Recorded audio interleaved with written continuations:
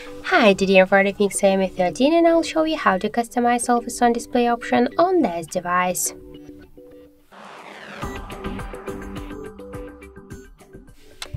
So let's first Open the settings application and then tap to always on display and lock screen section. Then click to always on display and just we can change your display items to show AID always by schedule just set to set this uh, custom time, the start and the end time or just for 10 seconds after tapping.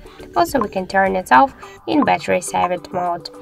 Uh, saver uh, here we can see the different tabs for, for, like the signature, analog, kaleidoscope, digital clocks, and the and other backgrounds.